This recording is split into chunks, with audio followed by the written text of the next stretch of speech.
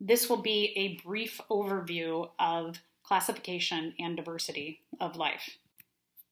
When talking about the classification of living things, scientists use the science of systematics to show how the biodiversity of all living things is organized and classified. Systematics also has branches of taxonomy and phylogeny to help further explain how all living things are classified. So let's start with talking about systematics. Systematics is a scientific field. Lots of scientists use it.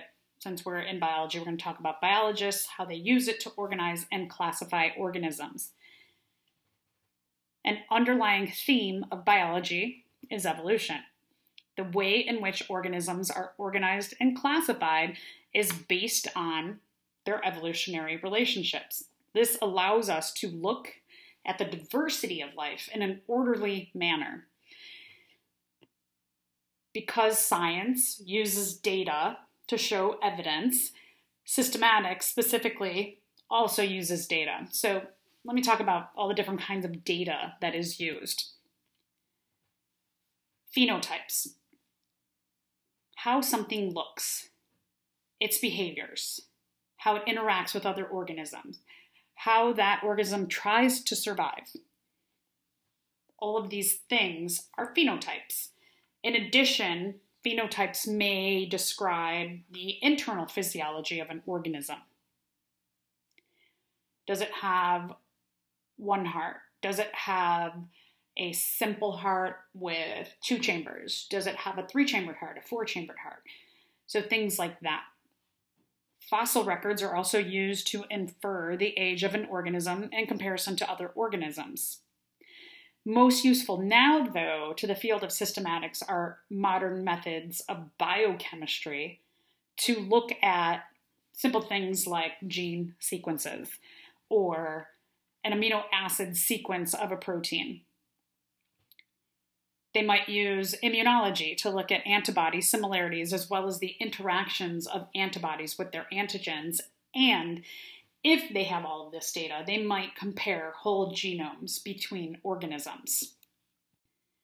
A branch of systematics that uses the internationally recognized language of naming organisms and putting them into hierarchical groups is taxonomy. And we're going to come back to this. Phylogeny describes an organism's evolutionary history and the organism's evolutionary relatives based out of shared ancestries. One of the tools that phylogeny uses are phylogenetic trees. And so you can see up here in the corner of the slides that there are little trees and what these branches between the trees show is they show the evolutionary relationships among organisms. So the more branches that you share with another organism, the more closely related you are evolutionarily. And again, we're going to come back to this. So, a little bit about evolutionary relationships. One of the ways that we use to talk about how organisms are classified is into what are called clades. A clade is just a fancy way of saying a group. And these groups are based on the evolutionary history of organisms. The more groups that two organisms share, the more closely evolutionarily related they are. So let's take a step back. Let's go back to taxonomy for a minute. In taxonomy, the Linnaean system is used. It was invented by Carl Linnaeus. He studied things like botany and zoology and even medicine. What this language does hierarchically is it shows how organisms are related based on words or language. His system starts with a point of origin, and these are the largest groups or clades, which are called the domains. All organisms fit into one of three inclusive domains. And what I mean by inclusive is that each domain includes a lot of organisms. These three domains are archaea, bacteria, and eukarya. That way we can go down to things that are more specific. But before we get to that, let's talk a little bit about well, why do we use things like systematics? All right, so let's say that you are going to go shopping for your favorite toothpaste. You love Tom's organic peppermint toothpaste, and you're going to go over to Target. And when you walk in the door, you kind of instinctually know where to go. Mm, not really. I mean, maybe you've learned over time where to go, but Target makes it really easy for you because hanging up high from the ceiling, there are signs that say the different departments like pharmacy, personal care, kitchen, bath, clothing, electronics, groceries, seasonal. So you're going to head over to the personal care section and on the ends of aisles, there are titles describing what is found in each aisle makeup, hair care, body lotion, deodorant, and dental hygiene. You're going to go down that dental hygiene aisle, and there are different sections toothbrushes, floss, toothpaste. In the toothpaste section, there will be divisions of adult and children, sensitivity, and natural. In the natural section, you see different kinds. In the Tom section, you can find your specific kind of toothpaste. This is a much better system than just putting random items on shelves depending on when the cases of these items arrive at the store. Thankfully, we have organization, and typically everything in life is pretty well organized because that's the way that we respond to everything in the world. All right, so at the beginning of life, there is this hypothetical common ancestor, right? And from that common ancestor, scientists start to divide organisms into these three points of origin the bacteria, the archaea, and the eukarya domains. Within each domain, there's a next category, and those categories can go down from domain, then kingdom, phylum, class, order, family, genus, and species the last group, the genus and the species, get into a little more important information. So again, I want to go over those major clades that domains can have. And so going from our broadest, most inclusive, meaning includes the most organisms, is the domain. And then you might have within a domain the kingdom, a phylum, a class, an order, a family, a genus, and a species. All right. Here you see one of my very favorite organisms, Cheilinus undulatus. This is a fish who lives in the Indo-Pacific region of the world around coral reefs. They eat marine invertebrates and also they can eat some poisonous prey and not get sick. This is the super male in the population. There's typically one super male in a population of these fish. The rest of the fish are smaller in size and drab in color. You can see the super males pretty big. They can grow up to about seven feet and they are brightly colored blue and green and have really neat patterns on them. What's super interesting about this fish is that they are protogynous hermaphrodites. What that means is this super male started out life as a female and then changed into a male. So, how the heck does that happen? Well, when this super male dies, it is thought that they give off some kind of a pheromone or chemical message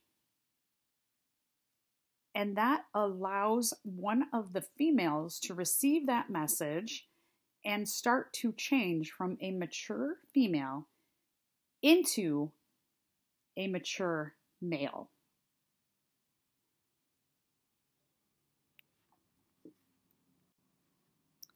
Now, let's say that you and I, we go on a scuba diving trip together and we see one of these. And when we come up, we're super excited to talk about it.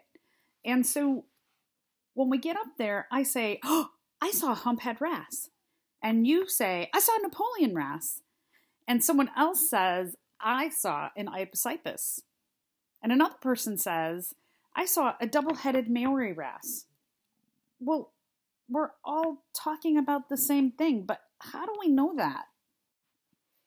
We know that because there is the scientific name. And that goes by the binomial system of nomenclature. It means a two name system of naming organisms. So, Carol Linnaeus, Carl Linnaeus, Carolus Linnaeus, he goes by a lot of different names too. Also, Carl von Linné, he created the system of naming, maybe because he had a lot of names too. And this two system of naming goes down to our two most specific clades, the genus and species groups. And every species has one specific name, the genus followed by the species.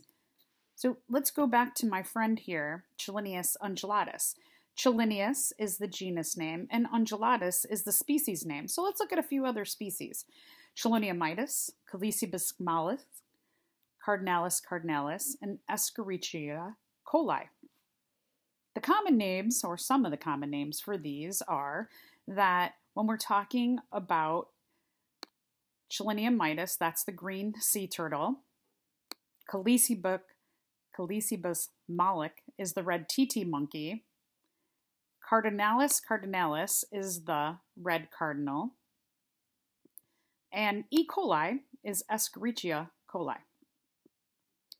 So I want you to take a look at these and notice a couple things about these scientific names here. One is that you can see with all of them, the genus name, the first letter, is capitalized. With the species name, it is not capitalized.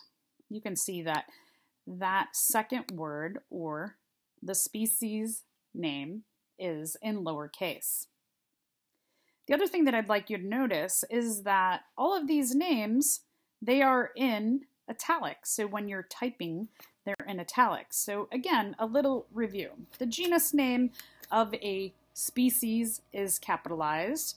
The species name, or the second word, is not. You would, in typing, put all of these in italics. Or let's say that we're on the boat and you're making a list by hand of what you saw. If you were writing the genus and species names, you would underline them by hand. Now let's talk a bit about biodiversity. The term biodiversity has that word B-I-O in it, and BIO, when we're talking about that, it means living things. And so the term biodiversity means the diversity of all living things. But it's not only the sheer number of total species within an ecosystem, but it is also the complexity of the interactions among them. Because if you think about any species, like us, for example, we can't exist without the help of other species alone, we need plants, algae, cyanobacteria, that photosynthesize to provide us with oxygen. And we also need plants to provide us with food or to provide things that we eat with food. The estimated amount of biodiversity, well, there's about seven to 10,000 new species discovered and named every year, so that continues to increase. We're mostly talking about insects from the tropical rainforest. We also have uh, the estimation of biodiversity can change a lot because species go extinct as well. In terms of how many species are out there, well, there's about 1.5 million species identified, but scientists have a range of what they actually think exists, and it could be anywhere from 7 million to as much as 100 million. Uh, sorry, 100,000 million. Identified biodiversity.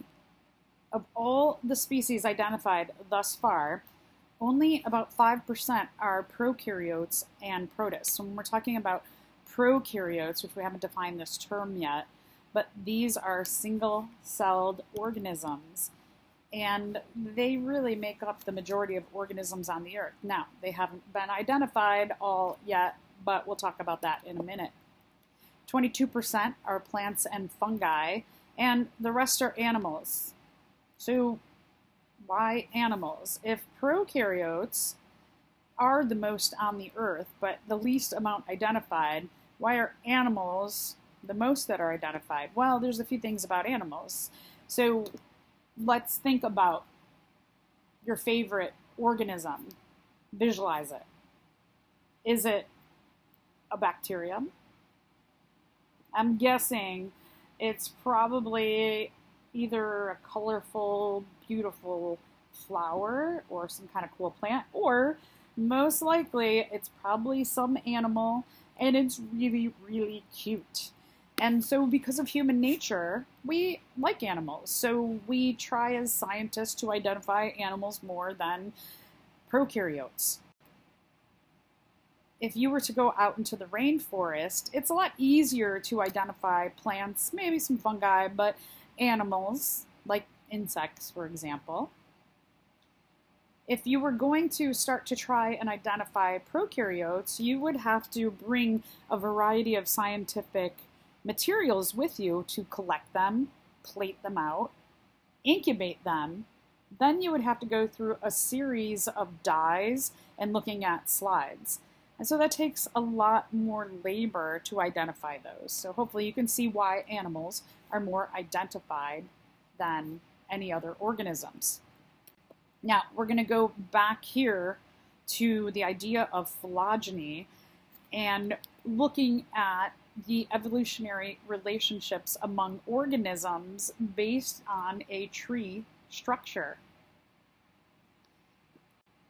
So evolutionary relationships, the branches of the clades, you can see there's lots of branches on these, this or this tree, and there's lots of branches off the tree.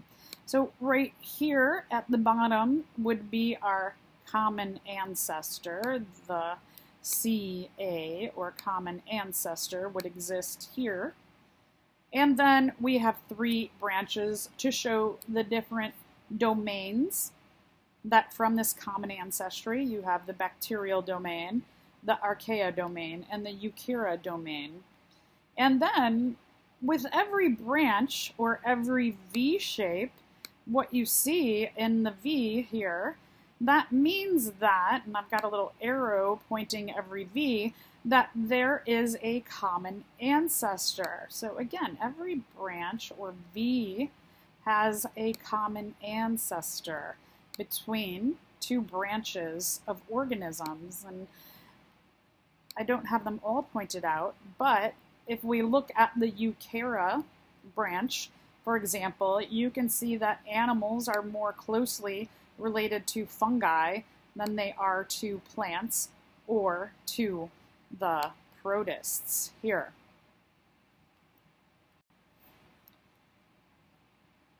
So again, just showing you that animals are more closely related to fungi because they share this branching area in here.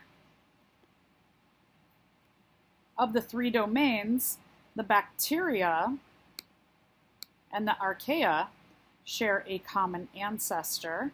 And then we can also see that from the archaea, you have a common ancestor between the archaea and the eukarya here. So let's talk a little bit about the three domain system of classification. I know I've mentioned it before, but the three domains are the archaea or archaea, the bacteria, and the eukarya or the eukarya. So with these three domains, two of them contain prokaryotic cells. The term prokaryotic means that these cells have no nucleus. The term pro here means to evolve before. So they evolved before, and karyotic, this term karyotic here, means nucleus. So eukaryotic, again, you've got this karyotic thing here. It means nucleus. And eu means true. So these organisms have a true nucleus, and these organisms evolved before the nucleus evolved. The only domain that has kingdoms right now is the Eukarya domain. And there are the kingdoms, so kingdoms protista, and there's a bunch of domains there. There is the kingdom fungi, the kingdom plantae, and the kingdom animalia. With advances in biochemistry or molecular genetics, we will see soon coming with much research to be done, there's going to be domains under archaea and bacteria. So it doesn't mean that they don't have them, they just haven't been named yet. But we'll see that probably in our lifetime. Great career path to go into. So again, just to make clear that whatever you see here on a phylogenetic tree, where you have a V shape, what that V shape means is there is a common ancestor. And so the bacteria and the archaea they have a common ancestor, or they share a common ancestor. And when we take a look at the archaea and the eukarya, they share a common ancestor here. Now, when we take a look at the named kingdoms of the eukarya, what you will see is that animals and fungi they share a common ancestor at that V point there. And when we take a look at the fungi and plants, they share a common ancestor here. And then we have our various groups of protists, and one of our protist groups will share a common ancestor with plants being here. And this just gives you an idea of the eukarya and how much work has been done on them.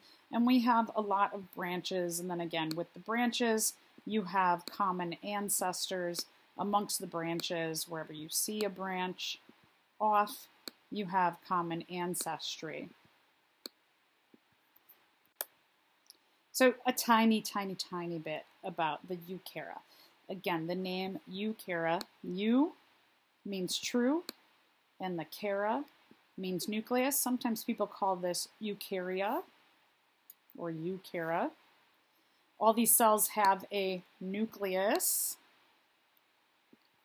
The term eukaryote is a noun. Eukaryotic is an adjective. So you might say a eukaryotic cell, or you might say a eukaryote. And here are all of the kingdoms, the protista groups or kingdoms, the fungi, the plantae, and the animalia. And here's just another way to view the eukarya. We're going to get into the rest of these in great detail as we go along. So we will be exploring the archaea or archaea group, the bacteria group, and the eukarya or eukarya groups.